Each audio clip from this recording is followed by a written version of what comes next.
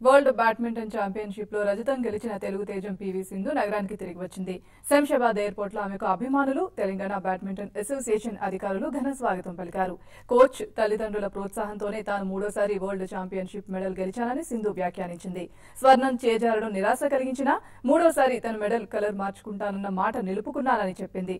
అటు సింధు ఆట తీరుపై కోచ్ గోపీచంద్ ప్రశంసలు కురిపించారు. ఫైనల్లో అద్భుతంగా పోరాడిందని ఫిట్నెస్ లెవెల్స్ మరింత మెరుగైతే తనకు తిరుగుండదని వ్యాఖ్యానించారు.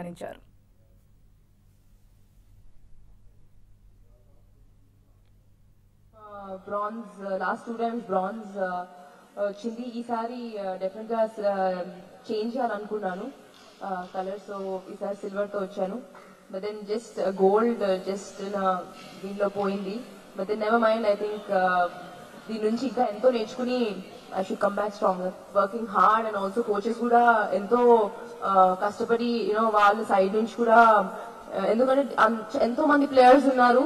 సో వాళ్ళందరికీ డిఫరెంట్ స్ట్రాటజీస్ లేకపోతే ద వే ఆఫ్ థింకింగ్ అవన్నీ తెలుసుకుని వాళ్ళ సైడ్ నుంచి కూడా ఎంతో కష్టపడ్డారు. సో డెఫినెట్గా అలాగే మాకు టూ మంత్స్ కరెక్ట్ టైం దొరికింది కాబట్టి మాకు మంచిగా ప్రాక్టీస్ చేయడానికి దొరికింది. లేకపోతే నార్మల్గా టూ వీక్స్ ఒకసారి టోర్నమెంట్ లేకపోతే కంటిన్యూస్ టూ టోర్నమెంట్స్ అలా ఉండేది.